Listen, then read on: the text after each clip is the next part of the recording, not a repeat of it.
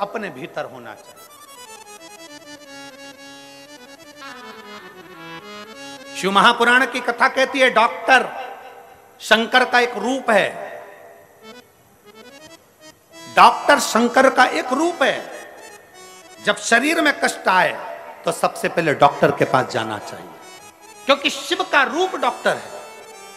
शरीर में कष्ट हो, डॉक्टर के पास जाओ। जाँच का बोले, जाँच कराओ। जो बोले, वो करो। पर साथ में इलाज के साथ शंकर को एक लोटा जल चढ़ाते रहो, क्योंकि डॉक्टर भी आखिरी में कह देता है कि अब इनको दुआ की ज़रूरत है तो वो दुआ हमको चाहिए। डॉक्टर भी आखिरी में कह देता है कि अब मेरे हाथ में नहीं, अब उसके हाथ में है। मतलब डॉक्टर के साथ एक डॉक्टर और है, जब वो ऑपरेशन करने जाता है तो साइन करवा लेता है।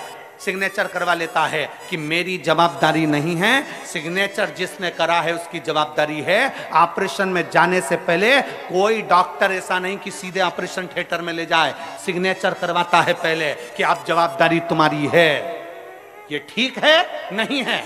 डॉक्टर शंकर का एक रूप है। सबसे पहले डॉक्टर को चेकअप कराओ और चेकअप कराने के बाद डॉक्टर जैसा बोले वैसी दवाई खाओ, पर उसके साथ में शंकर पर भरोसा करते हुए चलो तो तुम्हारा कार्य सफल ज़रूर होगा।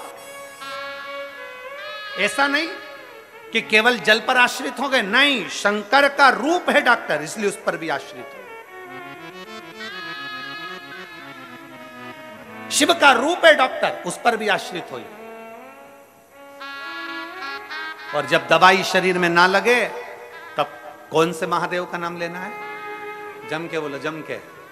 कुंद कैश्वर। कुंद कैश्वर महादेव का नाम लेकर डॉक्टर की दवाई को खुद खाओ, पर भगवान का नाम लेकर कुंद केश्वर महादेव का नाम लेकर। डॉक्टर दवाई लिखा है, उस दवाई को हमें खाना है, पर कुंद कुंदकेश्वर के नाम से खाओ। शरीर को लगेगी। क्यों ना लगे?